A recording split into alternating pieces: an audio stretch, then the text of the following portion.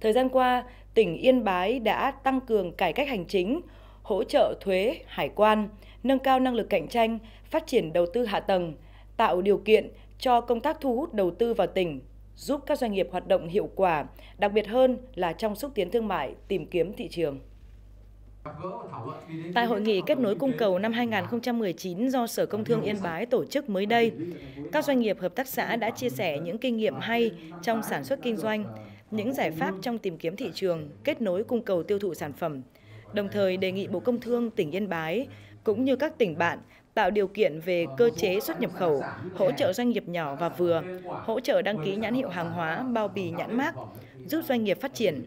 Tại đây, các nhà cung ứng, nhà phân phối đã có dịp kết nối, trao đổi trực tiếp chuyên sâu về những vấn đề cụ thể trong cung ứng và thu mua. Từ đó đã có 25 hợp đồng nguyên tắc và biên bản đã được ký kết. Hội nghị kết nối cung cầu Yên Bái năm 2019 là sự kiện xúc tiến thương mại quan trọng, đáp ứng nhu cầu của nhiều đơn vị trong chuỗi cung ứng tiêu thụ hàng hóa, nhất là hỗ trợ sản phẩm đặc sản địa phương, nông sản thực phẩm an toàn tìm được đầu ra và tiến tới xuất khẩu.